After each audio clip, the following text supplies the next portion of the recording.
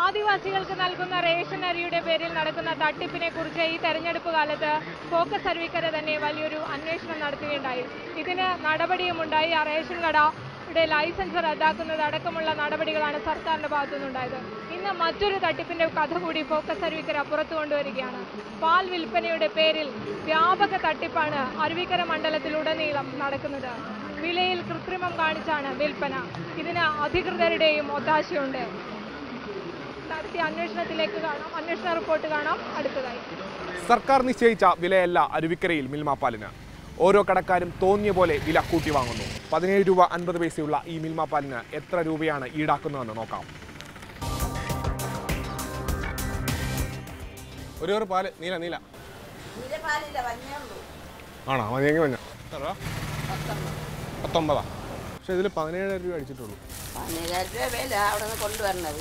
നമ്മക്കൊന്നും വേണ്ടേ.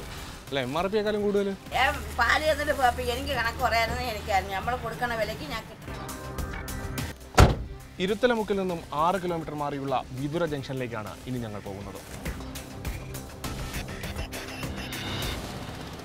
ഒരു പാൽ പത്തൊമ്പത്. പത്തൊമ്പതാ.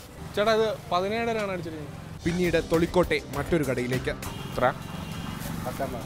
പതിനേഴരല്ലേ ഉള്ളൂ ഇതിൽ അടിച്ചിരിക്കുന്നത്.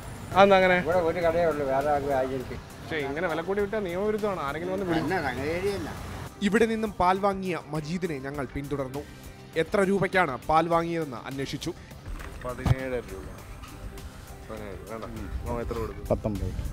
പറഞ്ഞാൽ ഒരു കുറച്ച് വെള്ളത്തിൽ നിന്ന് വാങ്ങിക്കാൻ പറയും ആറ് കവർ പാൽ തൊളിക്കോട് ജംഗ്ഷനിലെ കടയിൽ നിന്ന് വാങ്ങിയ അബ്ദുൽ കരീമിനും പറയാനുള്ളത് ഈ തീവെട്ടിക്കൊള്ളയെ കുറിച്ച് തന്നെ.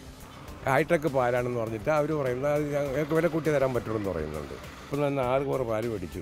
ഈ ആറ് കവർ പാലിനായിട്ട് ഞാപ്പം കൊടുത്തിട്ടുള്ളത് ആറ് ഒമ്പത് രൂപ കൂടുതൽ കൊടുത്തേക്കുന്നു. തിരുവനന്തപുരത്ത് നിന്ന് പാലെത്തുമ്പോഴുള്ള യാത്രാ ചിലവാണ് വില കൂട്ടാൻ കാരണമെന്നാണ് കടക്കാരുടെ പക്ഷം. പക്ഷേ അത് തെറ്റാണെന്ന് ഈ ദൃശ്യങ്ങൾ തെളിയിക്കും. മിൽമ വാഹനത്തിൽ സൗജന്യമായാണ് പാൽ വിതരണം. അടുത്തടുത്തിരിക്കുന്ന കടകൾ പരസ്പര ധാരണയോടെയാണ് ഈ വെട്ടിപ്പ് നടത്തുന്നത്.